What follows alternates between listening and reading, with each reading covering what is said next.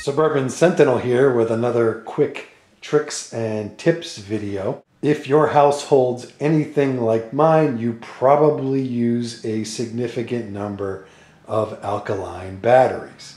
Batteries seem to be required for just about everything, household items, prepping items, you name it.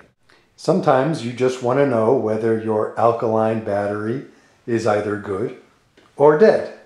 Personally, I can't be bothered with either rechargeables or having to keep and find a battery tester. In case you haven't seen this little trick before, I call this my Sir Isaac Newton battery tester. On the screen here we have eight batteries, four new ones right out of the package, four dead ones, and oops, something happened. It happens to me all the time. They get mixed up. Mm -hmm. Now, how do we tell the difference between the old ones and the new ones? Well, it has nothing to do with the way they look or the date stamped on them.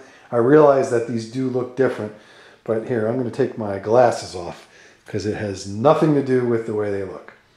So let's figure this out.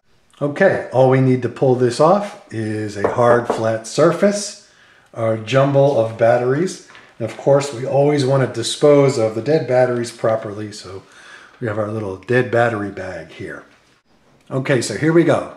Take each battery, hold it in your fingers with the positive side facing up. Hold the battery about six inches over your hard flat surface and just let it drop. That's a good one.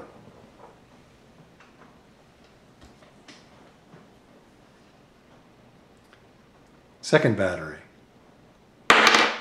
Good one.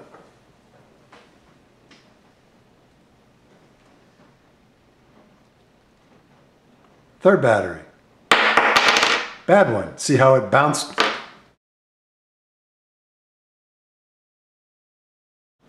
The good batteries will just hit the table and fall over, and the dead ones will bounce.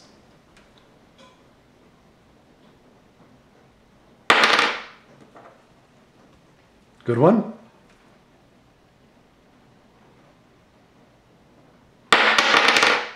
Bad one.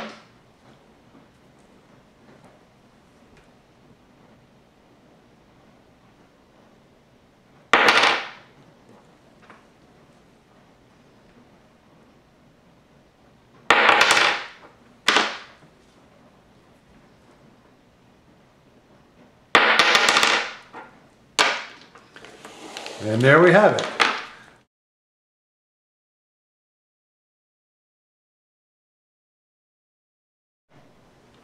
And that's all there is to it. If the batteries bounce, they're dead. And again, always dispose of them properly.